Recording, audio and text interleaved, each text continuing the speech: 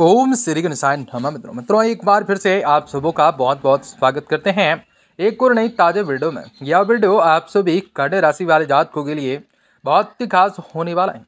क्योंकि आपको बताएँगे कि आने वाले इन चार दिन कैसा रहेगा। पच्चीस, छब्बीस, सत्ताईस और अट्ठाईस मार्च का समय। किन बातों का आपको ध्यान रखना होगा? और आज आपको बहुत ही आवश्यक होने वाली है। बहुत ही सारी आपके जीवन में खुशखबरी आपको प्राप्त होने वाली है। आपको समय के साथ अपने आप को बदलना पड़ सकता है। समय के साथ आपको दैनिक दिनचर्या में बदलाव और लाभ की प्राप्ति होने वाली है।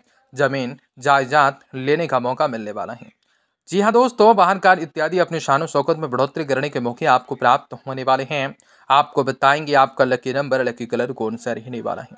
कौन सा वह कार्य क्षेत्र में आपको लाभ हो सकते हैं? कौन से महत्वपूर्ण सावधानी आपको बरतनी हो सकती हैं? आपको बताएँगे सारी जानकारी विस्तार से तो वीडियो को लगातार अंत तक देखिएगा। उससे पहले वीडियो को लाइक कर कोई सा भी पार्ट अगर आपको अच्छा लगे तो आप इस वीडियो को लाइक करके चैनल को सब्सक्राइब अवश्य कर लें। माता रानी के भक्त, सच्चे भक्त कमेंट बॉक्स में जय माता दी ज़रूर लिख दें।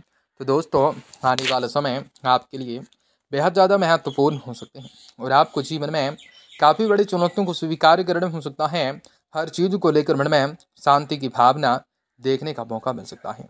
हर प्रकार की प्रतिष्ठाओं को प्राप्त करने हो सकते हैं। आने वाले चार दिन आप सभी के लिए मौलिक सोचों को बेहतर करना होगा। आपका सेहत में इस दौरान होने वाले कई सकारात्मक बदलाव भी आपके कार्य, क्षेत्र और सामाजिक जीवन में आपको दूसरों के साथ खुलकर बातचीत करने में मदद कर सकते हैं। जिसके कारण भी आपको आत्मविश्वास और शांत और आत्मविश्वास को लेकर भी, आज कुछ चीज़ों को लेकर भी आपकी वृद्धि होने वाली। हर एक निर्णय को लेने में खुद पाने वाले हैं। आप अपनी सुख सुविधाओं की चीज़ों पर इतना खर्च कर सकते हैं। जो कि इसका अंदाज़ा भी आपको भविष्य में जाकर होगा।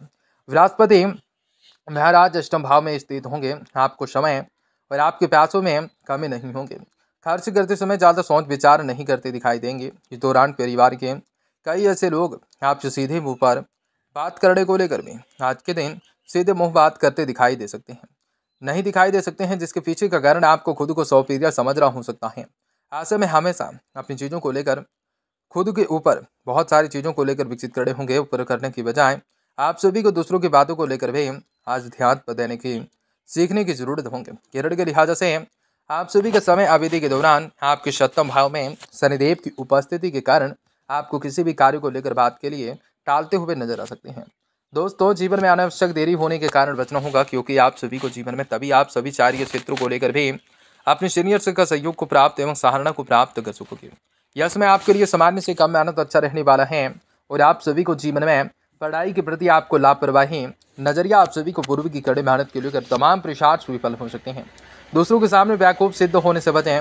रविवार के दिन भगवान नरसिंह जी की पूजा करना आपके लिए बहुत बढ़िया हो सकता है। जीवन में आपको खुशियों की प्राप्ति होने वाली है। आप सभी का मन प्रेमी के साथ कुछ अच्छा समय व्यतीत करने का कर सकता है। परंतु प्रिया की कोई भी बेजा मांग आपके सारे मूड को खराब कर सकती हैं। यदि आप चाहते हैं कि विपरीत परिस्थितियाँ दोबारा उत्पन्न ना हो तो आपको लिए बेहतर यही होगा। प्रेमी को समझाएँ। बेकारी की इच्छाओं की आगे न झुकें। आपके मन में किसी भी अतीत के प्रेमी से पुनः संवाद को करने की जगह चाहत जागृत हो सकती है। इनसे आपको ऐसा कुछ भी करने से बचना होगा। नकारात्मक शराब के दाम पर जीवन की अशांतियों को लाने का कार्य कर सकते हैं। मुख्य कारण बन सकते हैं और आपको जीवन में बहुत बड़े बदलाव हो सकते हैं। आपका ऊर्जा स्तर भी आप सभी का जीवन में ऊँचा रहेगा।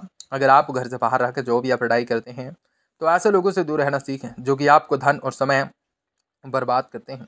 लोगों के साथ ठीक से आपको पेश आने हैं, खास तौर पर उनके साथ जो भी प्यार और करते हैं, आपका ख्याल रखते हैं भड़मात्मक उत्तल पुत्तल आपको परेशान कर सकते हैं। जो लोग प्रतियोगी परीक्षाओं की तैयारी कर रहे होंगे, दिमाग को शांत करने की ज़रूरत रहेंगे। और आपका दिन सुबह बात कार्य हो जाए दबाश